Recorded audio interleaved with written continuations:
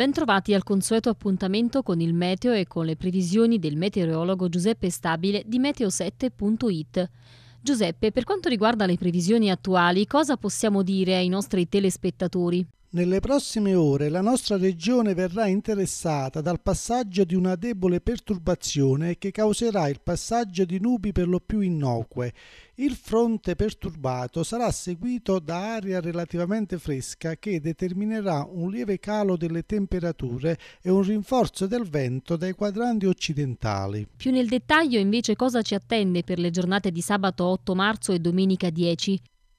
Per domani, sabato 9 marzo, avremo cielo del regolarmente nuvoloso a nuvoloso, con possibilità di qualche debole piovasco sul settore occidentale della regione. Nel corso della giornata la nuvolosità tenderà a dissolversi con il ritorno a condizioni di cielo poco nuvoloso entro la serata.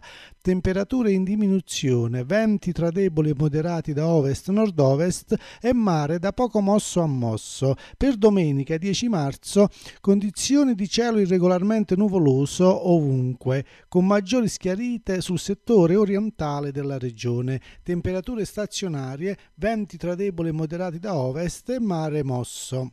E per quanto riguarda la tendenza della prossima settimana, cosa puoi dirci?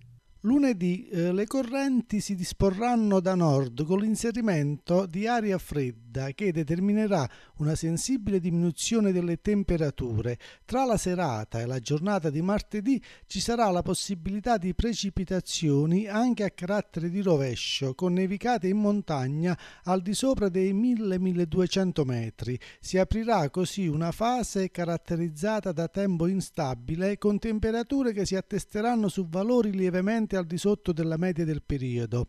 Per maggiori dettagli comunque invito i telespettatori a consultare i prossimi aggiornamenti che verranno pubblicati sul sito www.meteo7.it.